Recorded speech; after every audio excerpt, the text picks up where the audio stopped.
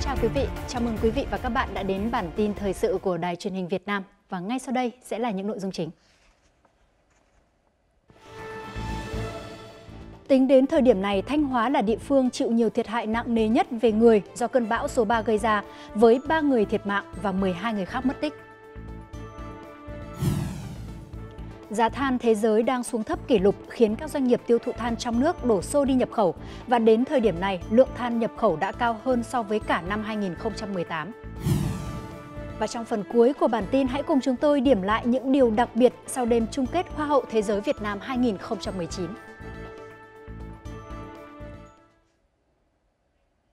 Chúng tôi xin được mở đầu bản tin với những thông tin về thiệt hại do mưa lũ gây ra. Thưa quý vị, bão số 3 đã khiến 5 người thiệt mạng và 13 người mất tích. Đây là thông đây là thống kê mới nhất tính đến tối ngày 4 tháng 8 của Ban chỉ đạo Trung ương về phòng chống thiên tai và trong đó Thanh Hóa là địa phương chịu nhiều thiệt hại nặng nề nhất về người. 3 người đã thiệt mạng, 12 người khác mất tích. Trên toàn tỉnh Thanh Hóa, hơn 1.000 hộ dân đã phải di rời khẩn cấp đến nơi an toàn. Hàng trăm hecta lúa màu, hoa màu đã bị ngập úng, toàn tỉnh vẫn còn hơn 120 điểm sạt lở tại các tuyến trọng điểm. Nước ngập cũng đã gây tắc đường tại hàng chục điểm giao thông. Ước tính thiệt hại là khoảng 50 tỷ đồng. Ngành giao thông vận tải Thanh Hóa đang tập trung nhân lực, máy móc, san gạt đất đá để thông tuyến tạm thời, đảm bảo cho người dân đi lại và phục vụ cứu hộ cứu nạn. Hiện tại vẫn còn hơn 2.800 hộ gia đình trên địa bàn Thanh Hóa vẫn chưa có điện và dự kiến trong tối ngày 4 tháng 8, các đơn vị sẽ khôi phục các tuyến cáp quang bị đứt và các trạm đang mất liên lạc. Vâng và hiện 12 người tại Thanh Hóa vẫn bị mất tích, 17 bản vẫn bị chia cắt, chưa có thể tiếp cận được. Công tác cứu hộ cứu nạn tại huyện Quan Sơn, một huyện biên giới của tỉnh Thanh Hóa vẫn đang được nỗ lực triển khai. Những gì còn sót lại sau một trận lũ? Căn nhà, ruộng vườn gần 300 mét vuông của gia đình anh Tới giờ chỉ còn như thế này. Một căn bếp với vài viên gạch còn sót lại. Cuộc sống vốn dĩ đã khó khăn giờ lại lâm vào cảnh trắng tay. Giờ quay lại ngôi nhà cũ, vợ chồng anh tới chỉ còn biết xót xa. Bây giờ thì nhà cửa mất hết rồi thì chẳng biết là làm sao. Bây giờ cũng phải đi à, xin ở với các con tạm thôi. Nhà cũng mất, mất hết cả lồ cả lạc mất hết rồi. Không có con nữa, cả gà cả nồi này mất hết rồi. Cả bản Bo có 4 gia đình bị nước cuốn trôi tài sản hoặc bị sạt lở nghiêm trọng. Trong đó, bản Sa Ná, xã Nam Mèo có tới 23 ngôi nhà bị nước cuốn trôi. Những món quà động viên từ lãnh đạo quân khu 4, từ Ủy ban Nhân dân tỉnh Thanh Hóa, sáng nay cũng đã kịp thời đến với người dân vùng lũ. Điều kiện đời sống của cái 10 à, à, cá nhân này bị à, đang không có liên lạc được trong gia đình họ thì cũng đang rất là hoàn cảnh à, nhà cửa không còn nữa bị sập bị trôi ờ, điều kiện rất khó khăn Vài ngày trước thì để đi từ bản Po sang bản Sa Ná của xã Nam Mèo, người dân có thể đi bằng à, bè, bằng mảng được ghép bằng luồng. Nhưng hiện nay thì đã bị nước lũ cuốn trôi. 17 bản đang bị cô lập hoàn toàn. Được biết kế hoạch xây cầu cho người dân đã được thông qua, nhưng cầu chưa kịp xây thì đã xảy ra sự cố. Và trước những khó khăn của bà con vùng lũ, ngay trong sáng ngày 4 tháng 8, 5 tấn gạo đã được Bộ Tư lệnh Bộ đội Biên phòng vận chuyển đến cứu trợ cho người dân vùng bị cô lập. Đồng thời, Bộ Tư lệnh Bộ đội Biên phòng đã chỉ đạo đồn biên phòng Nam Mèo phối hợp với nước bạn Lào mượn đường trên đất bạn tiếp cận hiện trường, chủ động dùng bè mảng để vận chuyển lương thực thực phẩm vượt sông Lò, kịp thời cứu trợ cho người dân chịu ảnh hưởng trong đợt mưa lũ vừa qua. Và theo chính quyền địa phương, các bản này chỉ có khả năng tự túc lương thực thực phẩm trong khoảng từ 4 đến 5 ngày.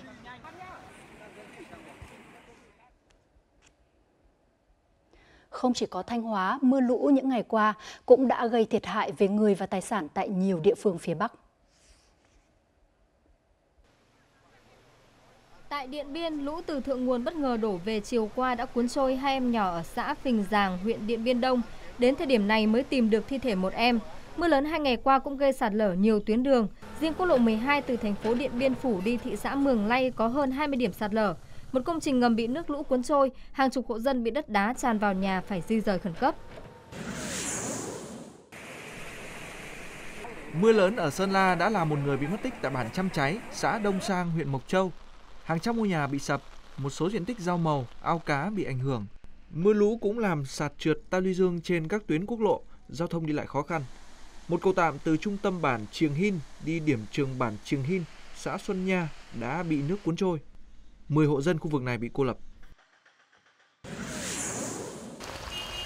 Tại Hòa Bình, mưa dồn dập gần 24 giờ qua với lượng lớn đã gây ngập úng cục bộ và nguy cơ sạt lở đất ở một số địa phương. Có gần 40 hộ bị ảnh hưởng. Hiện chính quyền địa phương đã di rời hộ dân nằm trong vùng bị ảnh hưởng đến nơi an toàn, cắm biển cảnh báo các điểm sạt lở, khu vực nguy hiểm, huy động lực lượng máy móc thiết bị dọn đất đá tại các điểm bị sạt lở.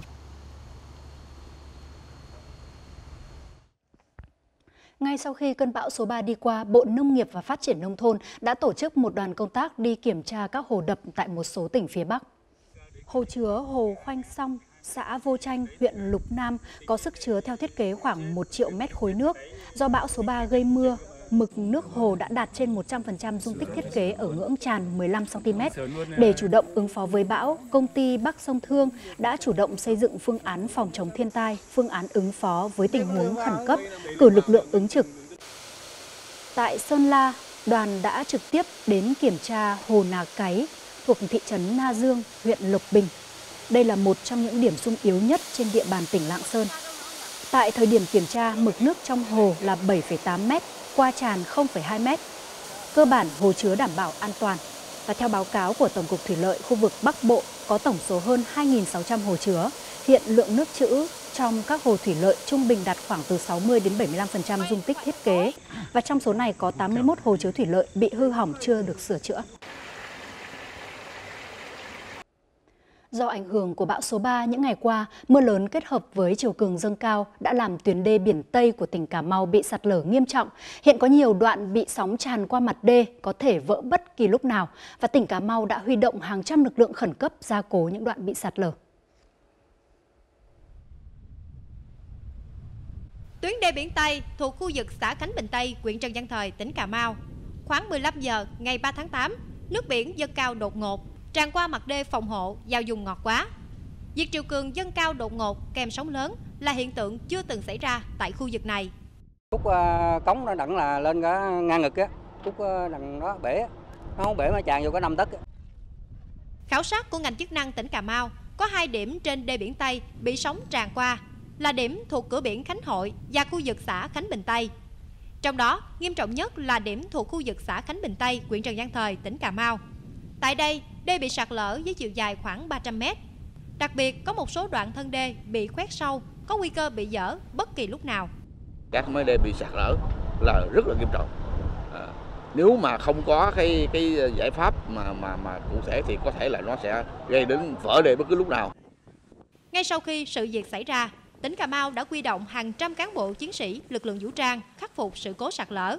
Chủ tịch tỉnh Cà Mau Nguyễn Tiến Hải cũng đã đến hiện trường trực tiếp chỉ đạo hộ đê. Phương án của chúng tôi là tiếp tục à, bảo vệ những cái đoạn à, khẩn cấp nhất, nguy hiểm nhất và sau đó thì sẽ có những cái biện pháp cơ bản tiếp sau. Ngành chức năng tỉnh Cà Mau cho biết, tuyến đê biển Tây tỉnh Cà Mau có chiều dài hơn 108 km, có vai trò bảo vệ hơn 90.000 hecta đất sản xuất nông nghiệp trong vùng ngọt quá của hơn 26.000 hộ dân thuộc hai huyện U Minh và Trần Văn Thời. Do đó, việc đảm bảo an toàn cho tuyến đê biển Tây là việc cấp bách trong điều kiện thời tiết diễn biến bất thường như hiện nay. Những thông tin đáng chú ý có trong phần tiếp theo của bản tin. Hơn 500 tăng ni sinh của Học viện Phật giáo Việt Nam tại Hà Nội đã tham gia hiến máu và đăng ký hiến mô tạng trong ngày hội hiến máu cứu người. Và trong phần cuối của bản tin ngày hôm nay, hãy cùng chúng tôi điểm lại những điều đặc biệt sau đêm chung kết Hoa hậu Thế giới Việt Nam 2019. Chuyển sang những thông tin thời sự đáng chú ý khác. Thưa quý vị, hơn 500 tăng ni sinh của Học viện Phật giáo Việt Nam tại Hà Nội đã tham gia hiến máu và đăng ký hiến mô tạng trong Ngày hội Hiến máu cứu người hành Bồ Tát Đạo năm 2019. Ngày hội do Học viện Phật giáo Việt Nam tại Hà Nội, Trung ương Hội Chữ Thập Đỏ Việt Nam phối hợp với Viện Huyết học Truyền máu Trung ương tổ chức lần đầu tiên vào sáng ngày 4 tháng 8 tại Sóc Sơn, Hà Nội. Tham gia ngày hội, Phó Thủ tướng Thường trực Trương Hòa Bình đã nhắc tới vai trò quan trọng của máu trong y khoa, sự cần thiết để sẵn sàng dự trữ cho thảm họa an ninh quốc phòng. Trên thực tế, lượng người cần được cấy ghép mô tạng ngày càng gia tăng, trở thành nhu cầu thực tế hữu, hiện hữu. Hàng ngàn người đang mòn mỏi chờ ghép tạng nhưng rất ít người trong số họ có cơ may đó vì số người hiến lại rất khan hiếm. Phát biểu tại buổi lễ, Thượng tọa Thích Thanh Quyết, Viện trưởng Học viện Phật giáo Việt Nam tại Hà Nội đã chia sẻ, hiểu rõ ý nghĩa của việc hiến máu, chữ tôn đức, lãnh đạo. Giảng sư và gần 500 tăng ni sinh đã nhất tâm hoan hỷ tham gia hiến máu, trong đó hơn 150 tăng ni sinh đăng ký hiến mô tạng. Hoạt động này được kỳ vọng sẽ tiếp tục được lan tỏa tạo nên một phong trào nhân văn và ý nghĩa rộng lớn trong cả nước. Thượng tọa Thích Thanh Quyết cũng đã đăng ký hiến mô tạng của mình trong ngày hội lần này.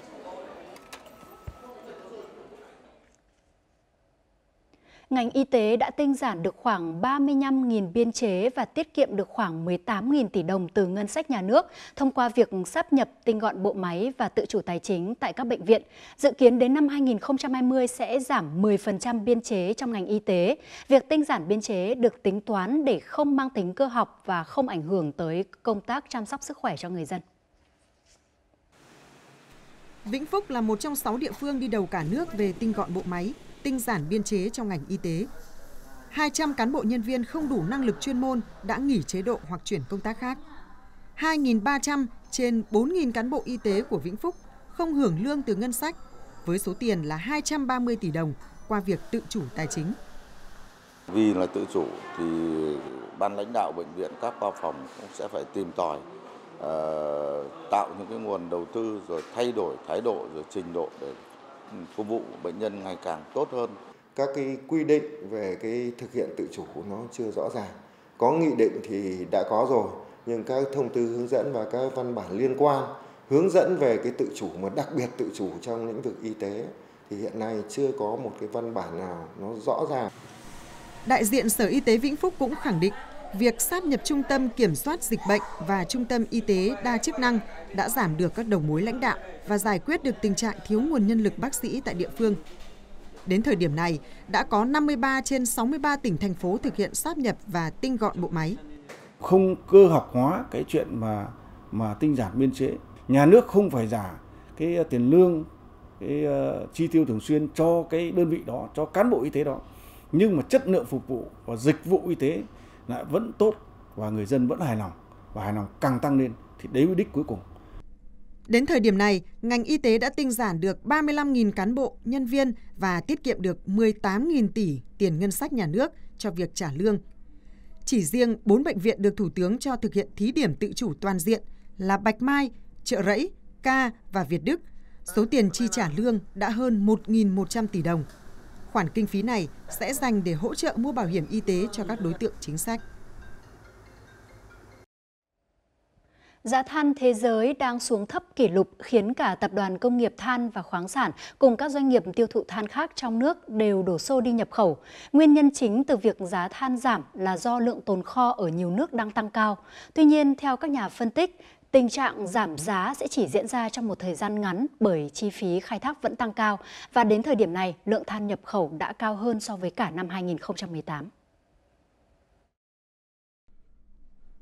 Nếu như năm 2013 cả nước mới nhập khẩu hơn 2,2 triệu tấn than đá, thì đến năm 2018 đã tăng lên 21,4 triệu tấn và đỉnh điểm đã được xác lập khi đến giữa tháng 7 vừa qua, lượng than cả nước nhập đã vượt qua lượng than nhập khẩu cả năm 2018. Theo các đơn vị nhập khẩu, giá than nhập khẩu đang có lợi thế khi giảm gần 40% so với năm ngoái và nguồn nhập cũng đa dạng hơn trước. Năm nay là do cái giảm của nhu cầu giảm của Trung Quốc cũng như là giảm của cái việc ờ, các thị trường ờ, châu Âu nhập khẩu than thì cũng dễ hơn cho việc nhập khẩu than so với mọi năm. Đại diện Tập đoàn Công nghiệp Than và Khoáng sản cũng cho biết sẽ áp dụng tỷ lệ 40% than nhập chất lượng cao pha trộn với 60% than chất lượng thấp trong nước để tạo ra than chất lượng trung bình bán cho các nhà máy điện. Điều này đảm bảo hai mục tiêu đó là tăng lượng than cung cấp cho các nhà máy điện và đưa giá bán than theo hướng thị trường. Chúng tôi thống nhất với ờ, bên ờ, mua là sẽ theo cái cơ chế thị trường than thế giới. Thế vậy là cứ khi cái giá than ờ, thế giới mà giảm thì chúng tôi sẽ tính toán để giảm cái giá than pha trộn. Theo Tập đoàn Công nghiệp Than và Khoáng sản, hiện than nhập khẩu đang chiếm hơn 10% sản lượng than tiêu thụ. Tuy nhiên, tính chung thì ngành than hiện chỉ đáp ứng được 80% nhu cầu cho ngành điện. Vì vậy bên cạnh việc nhập khẩu, vấn đề quan trọng nhất là tiết giảm chi phí và tăng hiệu quả sản xuất. trước chúng tôi là đang khai thác cái lò chợ chỉ đạt khoảng tầm 80 đến 100 nghìn. Và chúng tôi đưa cái lò chợ cơ giới hóa khai thác lò chợ cơ giới hóa vào thì chúng tôi đạt khoảng 200 đến 250 nghìn tấn trên năm. Chúng tôi đã cải tiến cái hệ thống băng tải hóa rót than cho từ kho mỏ xuống đến kho cảng để nâng cao cái tốc độ giao than cho khách hàng, tránh cái ờ, hao hụt than và đảm bảo được chất lượng giao than cho khách hàng. Tính đến tháng 7 năm nay, sản lượng than khai thác của Tập đoàn Công nghiệp Than và Khoáng sản đã đạt gần 25 triệu tấn, tăng hơn 1,5 triệu tấn so với cùng kỳ. Đại diện tập đoàn này cũng khẳng định vấn đề quan trọng nhất là vẫn phải đáp ứng đầy đủ nhu cầu than cho ngành điện. Vì vậy trong kế hoạch năm nay, tập đoàn đã tăng thêm 11% sản lượng khai thác và tiếp tục điều chỉnh giá bán hợp lý cho các đơn vị tiêu thụ. Giúp ngư dân vươn khơi bám biển là một trong những công việc của lực lượng kiểm ngư đã và đang làm trong thời gian qua. Không chỉ tuyên truyền phổ biến pháp luật, lực lượng này còn sát cánh cùng ngư dân trên biển giúp họ đánh bắt hải sản đúng pháp luật. Đối với bà con ngư dân, lực lượng kiểm ngư đã thực sự trở thành một chỗ dựa vững chắc để bà con yên tâm vươn khơi bám biển. Năm 2017, anh Lê Hiếu, thuyền trưởng tàu BV 92533TS ở xã Tân Phước, huyện Phước Tĩnh, tỉnh Bà Rịa Vũng Tàu đang khai thác thủy sản tại vùng biển giáp danh thềm lục địa Việt Nam, Indonesia thì bị lực lượng chấp pháp Indonesia bắt giữ cả tàu và cả thuyền viên đưa về giam giữ tại Indonesia. Sau gần một năm bị giam giữ, anh được phía Indonesia trao trả cho Việt Nam. Trở lại ngư trường sau thời gian dài, anh Hiếu dần lấy lại sự tự tin khi khai thác thủy sản trên biển vì bên cạnh anh cũng như các tàu khác của ngư dân Việt Nam luôn có lực lượng kiểm ngư Việt Nam và lực lượng trực của Hải quân Việt Nam sát cánh. Nói chung là bây giờ có lực lượng kiểm ngư với Hải quân Việt Nam ra thì cho những cái tọa độ mà anh em đánh bắt ở đây thì đường phân định rõ ràng thì bà con ngư dân mình cũng theo cái, cái đường phân định. Hỗ trợ ngư dân nhưng cũng kiên quyết với những hành vi đánh bắt sai pháp luật. Lực lượng kiểm ngư đang hạn chế tối đa những vi phạm của ngư dân. Bên cạnh đó, các tàu kiểm ngư thuộc chi đội kiểm ngư còn chú trọng công tác dân vận, kịp thời hỗ trợ nước ngọt và rau xanh, thuốc chữa bệnh cho các tàu ngư dân, kịp thời cấp cứu các trường hợp bị tai nạn trên biển. Năm qua, các tàu kiểm ngư đã tổ chức tìm kiếm cứu nạn hàng chục trường hợp tàu ngư dân bị hỏng máy, gặp thời tiết xấu trôi giạt trên biển. Lực lượng kiểm ngư đã tổ chức tuyên truyền về các điểm tọa độ trong hiệp định phân định ranh giới thềm lục địa giữa Việt Nam và Ấn Bên cạnh đó, lực lượng kiểm ngư cũng kiên quyết ngăn chặn và xử lý nghiêm đối với các trường hợp tàu cá cố tình vi phạm sang vùng biển nước khác để khai thác thủy sản trái phép. Bên cạnh nhiều tàu của bà con ngư dân chấp hành đúng pháp luật thì vẫn còn một số tàu vẫn chưa chú ý đến tọa độ, gây khó khăn cho các lực lượng, nhất là kiểm ngư khi thực thi pháp luật trên biển. Thời gian tới, việc bắt buộc lắp đặt các thiết bị giám sát hành trình chắc chắn sẽ giúp ngư dân đánh bắt đúng luật hơn và cũng giúp các lực lượng chấp pháp trên biển của Việt Nam có thể cảnh báo tốt hơn tới các ngư dân. Thưa quý vị, sau 2 tháng diễn ra với nhiều phần thi hấp dẫn, vào tối ngày 3 tháng 8 tại thành phố biển Đà Nẵng, 39 thí sinh xuất sắc nhất của cuộc thi Hoa hậu Thế giới Việt Nam 2019 đã chính thức bước vào đêm chung kết để tìm ra chủ nhân cho chiếc vương miện sắc đẹp đại diện cho Việt Nam tại cuộc thi Hoa hậu Thế giới 2019. Và ngay sau đây hãy cùng chúng tôi điểm lại những điều đặc biệt sau đêm chung kết.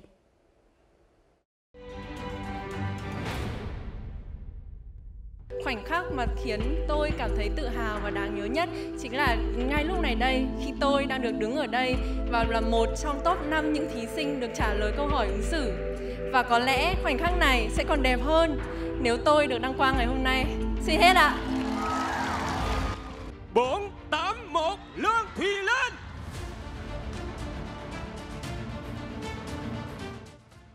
Đó là phần trả lời tự tin và bản lĩnh trong phần thi ứng xử của Tân Hoa hậu Thế giới Việt Nam 2019 Lương Thùy Linh. Thí sinh đến từ Cao Bằng đã xuất sắc vượt qua 37 thí sinh khác để đăng quang ngôi vị cao nhất của cuộc thi năm nay.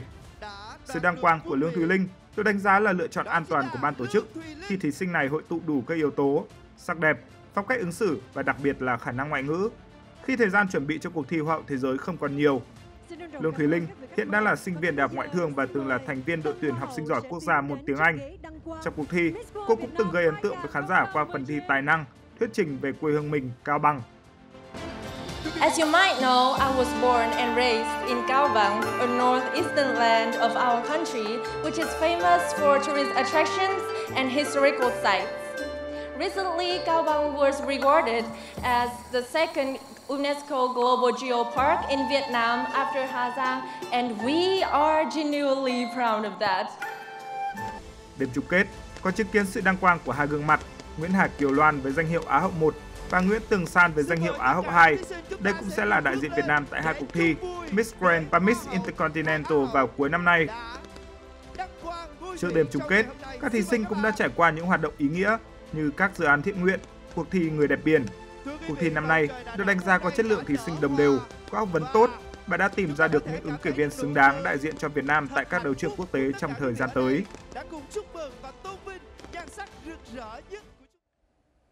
Trong phần cuối của chương trình, hãy cùng chúng tôi điểm lại những sự kiện nổi bật đã diễn ra trong tuần qua.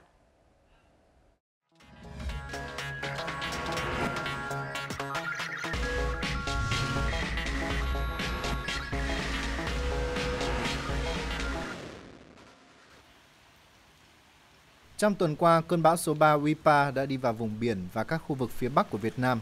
Tính đến hết ngày 3 tháng 8, bão số 3 đã gây ra mưa lớn tại các tỉnh Bắc Trung Bộ, làm cô lập 7 xã vùng cao thuộc huyện Quan Sơn, tỉnh Thanh Hóa, khiến 2 người chết, 13 người mất tích ở tỉnh Thanh Hóa.